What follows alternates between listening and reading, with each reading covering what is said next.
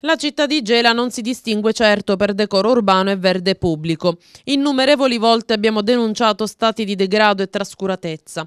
Angoli o interi quartieri che ripuliti e piantumati adeguatamente cambierebbero decisamente il volto della città, perché il decoro, la pulizia e l'immagine di un luogo sono fondamentali per una serena e civile convivenza dei cittadini, ma soprattutto per accogliere visitatori. Ci chiediamo dove finisce la responsabilità della pubblica amministrazione e comincia quella dei singoli cittadini? Siamo sicuri che Gela sia in grado di mantenere in ordine quello che è già stato ripulito e sistemato?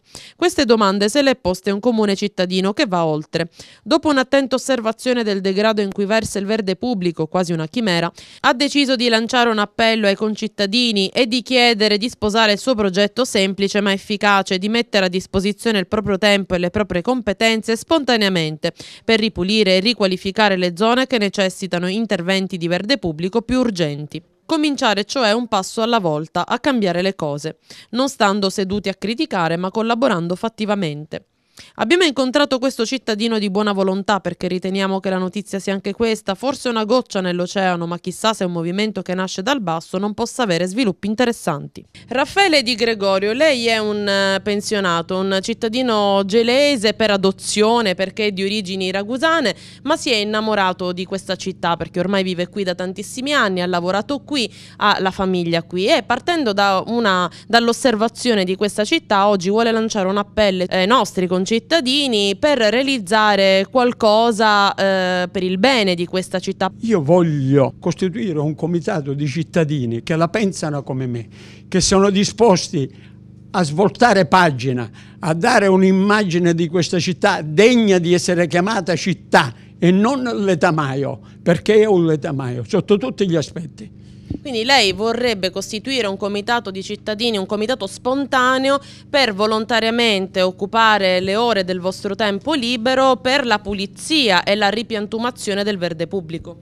Sì, se osserviamo la città di Gela e vediamo bei balconi che sono costati migliaia di euro, bellissimi, ma che poi manca l'essenziale, cioè anche una pianta di geranio o una di qualunque esso sia, per dare intanto un'immagine diversa di questa città. Il verde, le piante sono benessere per il cittadino perché abbassano eh, la produzione di anetride carbonica e producono ossigeno, quello che respiriamo i cittadini anche gli amministratori dovranno attenzionarci. Se qualche cittadino di buona volontà volesse sposare la sua causa la può contattare e così magari creare questo comitato. Posso dare il mio numero di telefono 328 8739 930. Ciò che mi auguro e credo che se lo debbano augurare tutti i gelesi e la città di Gela è che questo comitato si faccia perché ho avuto già tantissime adesioni e questo è l'obiettivo, è questo che ci prefiggiamo. E io dico ai gelesi, veglia, diamo un'immagine diversa. Entro quest'anno, prima che finisce la primavera, di fare un concorso il miglior balcone fiorito.